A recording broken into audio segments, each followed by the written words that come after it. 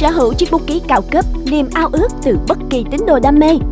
Bút ký là vật dụng gắn liền với giới doanh nhân. Chúng không chỉ được sử dụng trong công việc mà còn giúp người dùng nâng tầm giá trị, phong cách. Tất nhiên, theo cách hiểu dân gian thì bút nào cũng để ký và viết. Tuy nhiên, không phải ai cũng biết rõ là bút ký gồm bao nhiêu chủng loại và ứng dụng của từng chủng loại ra sao. Hôm nay, Thế giới bút sẽ chia sẻ thêm với các khách yêu của mình kiến thức này nhé. Bút ký là danh từ chung để chỉ các loại bút được sản xuất ra trên thế giới. Trải qua nhiều thập kỷ hình thành và phát triển, hiện tại bút ký được chia thành 5 chủng loại theo tiến trình lịch sử như sau.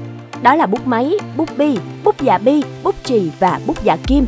Một, đầu tiên là bút máy, hay người Việt xưa thường gọi là bút lá tre, là loại bút dùng ngòi bút làm bằng kim loại để viết, sử dụng converter để bơm bút mực hoặc dùng trực tiếp bằng ống mực. Nó thường có cơ chế mở nắp khi viết, thích hợp với những người thích chơi bút hoặc những người có phong thái mạnh mẽ, lịch lãm. 2. Tiếp theo là bút bi. Bút bi, tiếng Pháp là bill, hay còn gọi là bút được một người Mỹ tên là John Lau đã xin cấp bằng sáng chế vào năm 1888. Tuy nhiên, vào năm 1930, Laszlo Biro, một cộng tác viên biên tập cho một tờ báo chí nhỏ tại Anh Quốc, ông thất vọng vì việc những cái bút máy luôn làm bẩn giấy tờ và thường xuyên bị hỏng, nên đã thiết kế ra một loại bút mới bằng việc lắp vào đầu bút một viên bi nhỏ, có thể xoay tự do trong một cái hốc.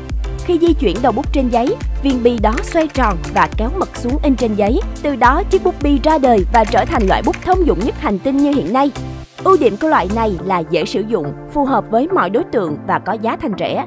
Bút bi cao cấp làm quà tặng có thể tiết kiệm chi phí mà vẫn đảm bảo chất lượng. 3. Đó là bút dạ bi hay còn gọi là rollerball theo tiếng Anh. Đây là loại bút được yêu thích nhất và bán chạy nhất hiện nay. Nó dùng mực nước và có cơ chế mở nắp để viết.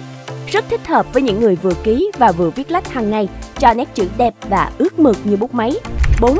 Tiếp theo sau đó là loại bút giả kim, hay còn gọi là bút ký thế hệ thứ 5 nó được phát minh sau bút chì thế hệ thứ 4 vào năm 2011, là loại bút sử dụng ruột có phần đầu ngòi làm bằng vật liệu siêu bền, có thể dẫn mực khi viết và có hình dáng tương tự như một chiếc kim, mặc dù được nghiên cứu và phát triển trên công nghệ hiện đại. Tuy nhiên đến nay, hầu hết mẫu bút này đã dừng sản xuất vì nhược điểm lớn nhất là hay bị khô mực do bay hơi của nó. Tụ chung lại, hiện nay trên thị trường có các chủng loại bút ký cao cấp xịn như sau: bút máy, bút dạ bi, bút dạ kim, bút bi và bút chì.